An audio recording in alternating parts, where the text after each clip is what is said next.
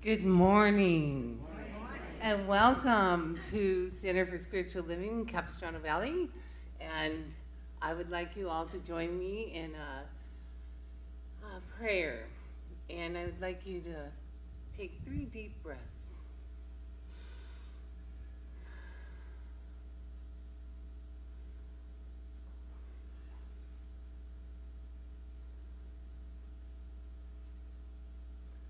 This is the breath of life.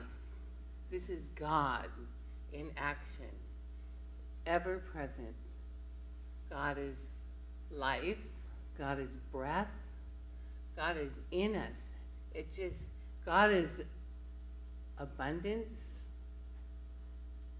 and harmony, nature.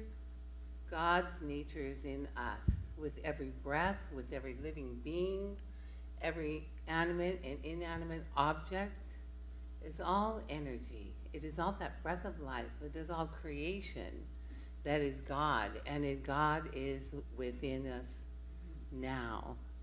And I know as we prepare our minds and hearts for God's presence, we acknowledge this power, this spirit, this love to flow in as and through us and just knowing with each breath we are creative spirits. We are God in action as Spirit moves through us and energizes our bodies, our minds, and just being. So we have, we all have memories, memories. We pick the good ones. Visions, pick the good ones and relax in smiling repose and be present with that God spirit within us that is the creative force in our lives and expresses through us as love, power, peace, creative energy, harmony.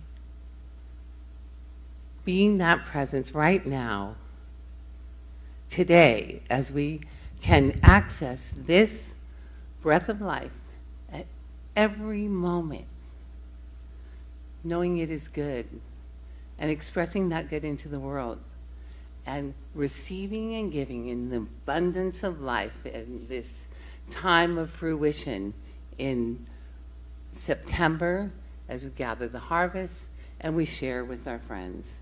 And I'm so grateful this is happening right now in us as us, and I release it into the law, knowing it is so together. We, so it is.